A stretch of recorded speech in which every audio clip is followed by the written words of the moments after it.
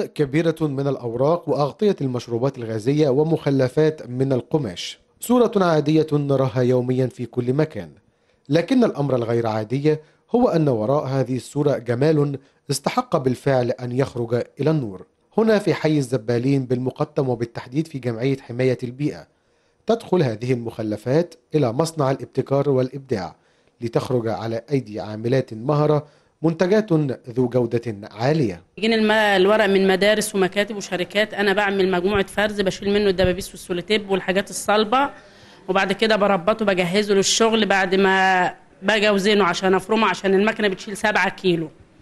بعد ما بوزنه بفرمه وبعد كده بيطلع على المكنة. بملى نصها مية اول طرف السكاكين وبشغلها لمدة تلت ساعة. أنزله في بانيو بيروح على خط الإنتاج يشتغل بالقالب يطلع للشغل بقى اللي هيتشكل. أظرف اكياس علب. بجيب العجين من المكنة وبحطه وبزود عليه مية وبعبي وبقلب زي ما انت شفت كده. بس المجموعة بتبقى من ثلاث بنات. واحدة بتغطي واحدة بتعبي وواحدة بتقلب نعمل منه كروتة ونعمل منه حاجات حلوة في المعرض. ده ده الشكل النهائي المقاس الكبير وده المقاس الصغير. في بقى حاجات تانية مختلفة بنعملها بس مش من الورق. بنجيب الغطيان بتاعت الكنزات بنجمعهم. هما بيكونوا نضاف برضو ما بيكونوش لسه وصلوا للزبالة. بناخدهم وبنعمل منهم شنط هدايا شنط بتبقى شنط سهرة يعني مش شنط عادية.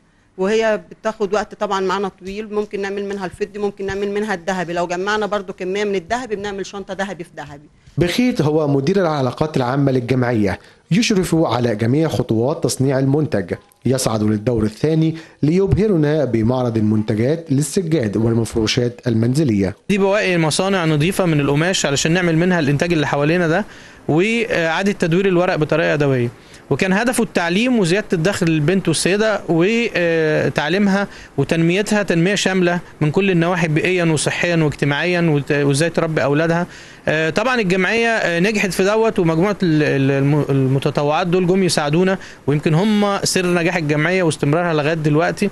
وبدأوا البنات برضو هم نفسهم يبقوا مبتكرات في نفس الوقت وبدأ شغلنا يتباع في مش بس في مصر في أماكن كتير في العالم منها أمريكا وكندا أكتر مكانين في ناس بتساعدنا يوزعوا لنا شغل هناك بيبيعوا لنا بنصدر لهم كتير. آه، طبعا الجمعية آه، ليها أفرع تانية في القطاميه وتورا هرم سيتي آه، جنوب سيناء أماكن تانية. وتقوم الجمعية بتدريب العديد من السيدات لجمع القمامة وتصنيع المنتجات ووفقا لتقارير منظمات دولية فإن معدل إعادة تدوير القمامة في حي المقطم تجاوز أربع أضعاف الشركات التقليدية لإدارة النفايات. محمد الخطيب لمراسل النيل.